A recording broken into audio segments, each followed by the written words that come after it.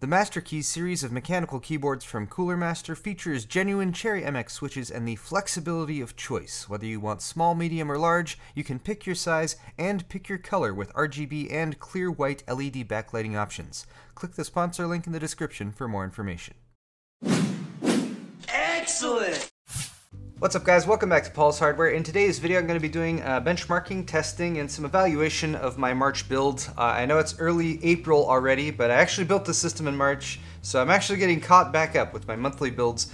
If you're not familiar, I plan out a couple builds at the beginning of every month, and then I build one of those systems, and then I follow up and test it and benchmark it and give you guys my feedback on the experience. And this has been a pretty fun build. It's my first ever actual full Ryzen system based on the AMD Ryzen 7 1700 CPU.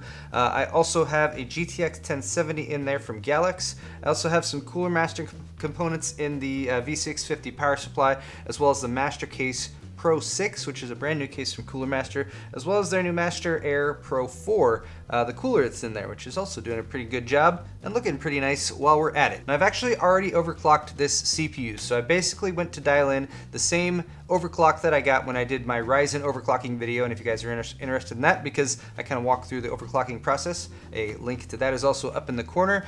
Due to some instability issues, I actually dialed overclock back just a tad. 3.8 gigahertz was what I hit across all of the cores, still plenty fast. And then with that dialed in, I went onto the GPU and basically dialed the same GPU overclock I had when I tested that uh, graphics card back in December, plus 126 megahertz on the GPU, plus 202 on the memory, uh, and then maxing the power and temperature targets. The fans I set to 60%, which uh, gave a nice balance between a little bit more noise, but plenty more cooling performance.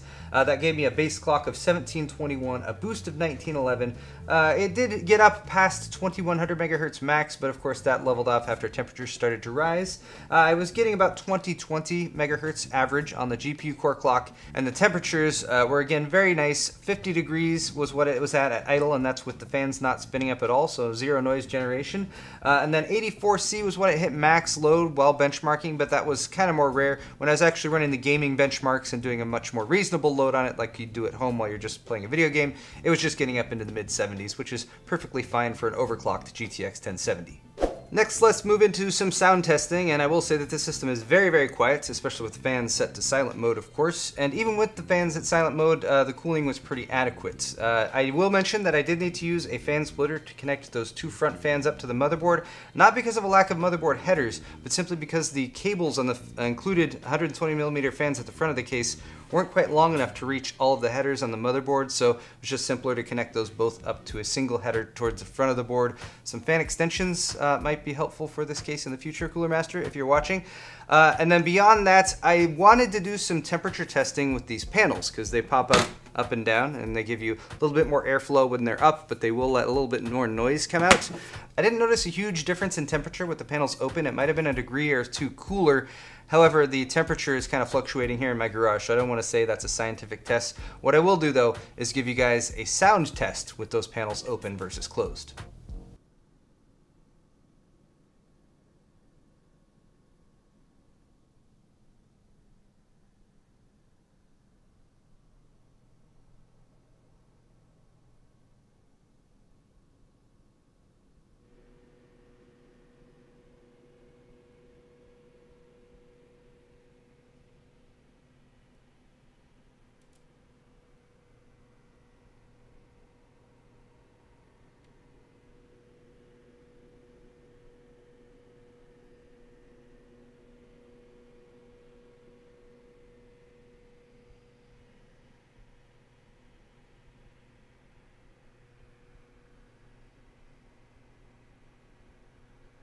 So there you go, guys. Not a huge difference in uh, noise generation with the panels open versus closed, but nice to have that option, I suppose. What I would probably do running this system full time is leave them closed most of the time, and then if I was doing something that was really uh, heavy lifting, like say I was queuing up a video to render out or something, would pop those open, a little bit more air get, get in without having to worry about the noise generation. Let's move into some gaming benchmarks though with the GTX 1070. This is obviously a gaming system. Ran all these tests at 2560 by 1440, which I find to be a nice mid-range resolution for a GTX 1070. And here you go, benchmarks.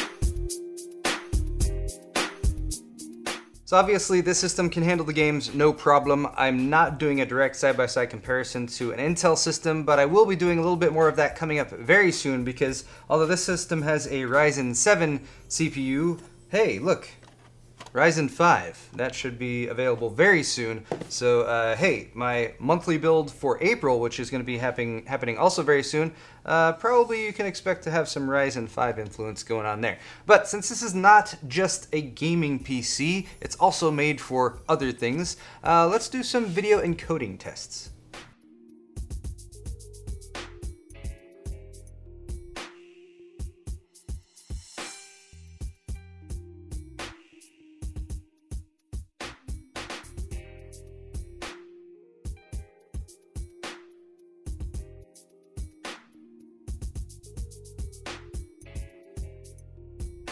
So now that you guys have had a taste of the performance with this system, let's wrap up with some closing thoughts. First off, the motherboard, the ASRock X370 Taichi, I think did a fantastic job here. Uh, I like the look of it. It's a little bit more distinct with the black and white aesthetic, but all in all, got the job done. And even though it's sort of more towards the higher end when it comes to ASRock's product stack, it's still very, very reasonably priced, especially when you compare it to like, say, uh, the Asus uh, Crosshair 6.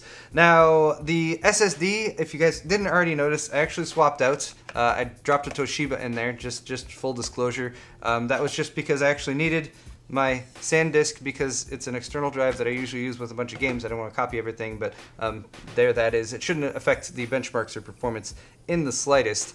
Let's talk about RGB LEDs while we're at this. Uh, the case is a little bit limited in that respect. I was actually pretty surprised when I first booted this system up uh, to, that this has a blue LED fan for the exhaust here from Cooler Master. It's just, it definitely makes this a blue accented case along with the blue accent line across the front there, which I suppose matches as long as you want blue to be part of your aesthetic. Uh, Cooler Master is also producing this case with red LEDs, so red accent at the front and red, red LED fan. All in all though, I kind of would have preferred if it was just a standard black fan here for the exhaust and let you do whatever the heck you want inside. Also, that's LED at the front. Again, it looks nice, but without it being RGB, it's hard to have it match with the rest of the system if you are going for RGB. All that said, if you're okay with blue and you want everything, to match, like I've, I found I, I ended up with kind of a red, white, and blue color scheme here. It's red on the bottom because of the motherboard LED and the LEDs on the bottom of the Galax 1070. Blue up top as well as on the front, and then of course the white accents on the mother, motherboard, which doesn't look too bad, but it doesn't give you the flexibility that you have with like the full size, full RGB system like I have going on back there.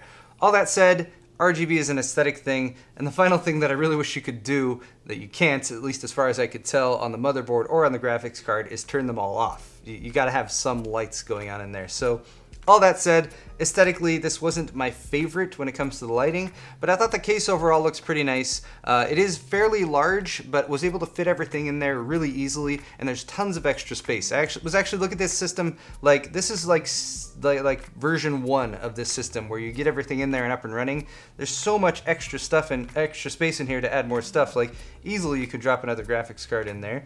Easily additional expansion slots could be used for adding more storage, or a RAID card, or a capture card, or anything like that that.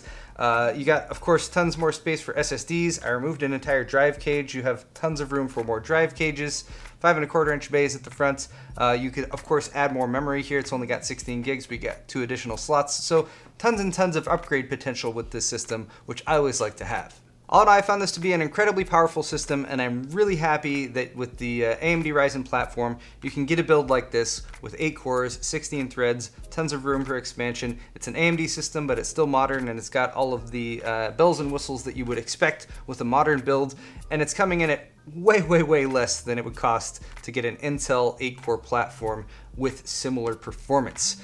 Gaming, of course, is a question we can continue to discuss when it comes to Ryzen versus Intel's CPUs, but more on that, of course, in upcoming videos. In particular, I'm going to be attacking that one more time because I've got Ryzen 5 content that's in the very near future, so stay tuned for that. All in all, though, guys, uh, I think you guys would be happy with this build. Also, of course, check out uh, the two parts lists I have in the description because if you kit it out like I have here, it's going to cost around $1,400. But if you're willing to swap out a few parts here and there, you can get basically equivalent performance for around $1,200. And for 1,200, I think uh, a system like this is absolutely beastly, uh, especially if you're doing anything like content creation or if you're doing gaming and streaming at the same time, or if you're doing higher end stuff, anything that's really, really intensive on the CPU and needs multiple threads. Thank you guys so much for watching this video, though. I hope you have enjoyed it, hit the thumbs up button if you did. Leave your comments in the comment section below. Give me some suggestions for April builds because I'm going to be working on those very soon. And as always, thank you for watching.